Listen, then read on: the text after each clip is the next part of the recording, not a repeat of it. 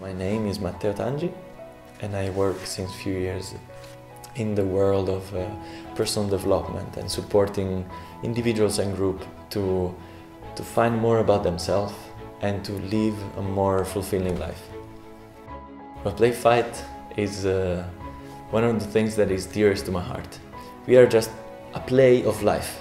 It's a practice, it's a tool of growth that uh, involve different aspect of the human being. Involves the body a lot because we use our body to enter in this fight, in this playful way of interacting.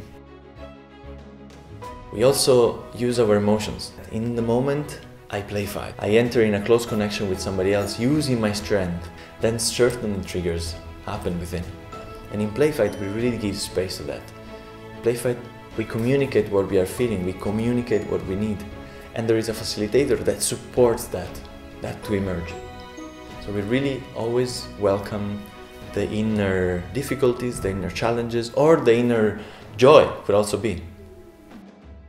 One might say, okay, I want to work with my aggressivity or with the topic of rejection.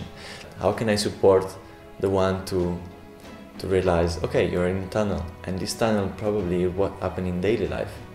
So how can you instead switch to a quality where I yes play the game, but I do it searching for the connection.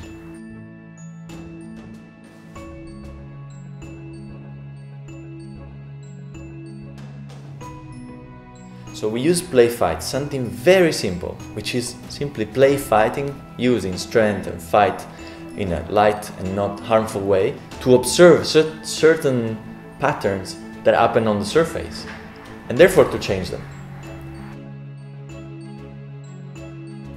And play fight is done in a circle, a circle that hold and support somebody in the middle to thrive.